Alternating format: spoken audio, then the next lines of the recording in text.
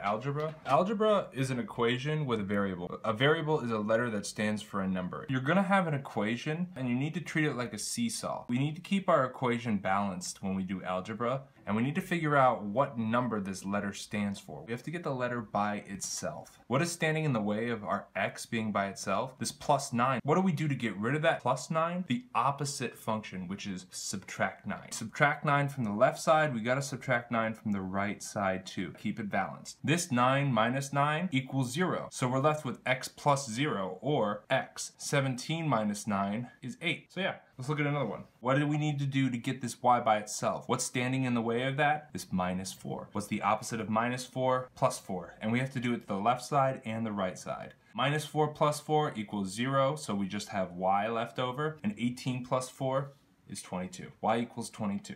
Okay, so we have something like this. 2x equals 16, or 2 times x equals 16. What's the opposite of 2 times? Divided by 2. This 2 over 2 equals 1, leaving us with just x. 16 divided by 2 is 8. 8 equals x. y divided by 10 equals 5 we need to get rid of this denominator. And what is the opposite of divided by 10? Multiply by 10, left and right side. This 10 and this 10, they cross out, and we're left with a y. Do our multiplication on this side, y equals 50.